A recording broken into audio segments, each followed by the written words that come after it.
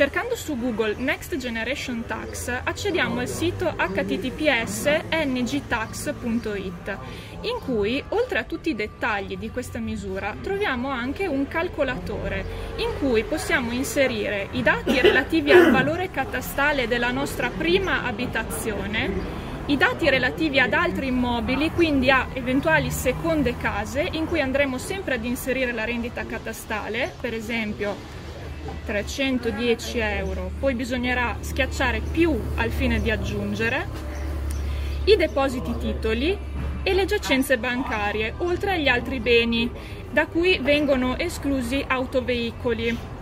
In questo modo noi otterremo quanto paghiamo nella situazione attuale e quanto pagheremo con la nostra proposta di legge. La maggior parte dei cittadini eh, arriveranno a non pagare niente, poiché questa aliquota si applica solamente a patrimoni superiori a 500.000 euro, per cui per il ceto medio ci sarà un grandissimo risparmio.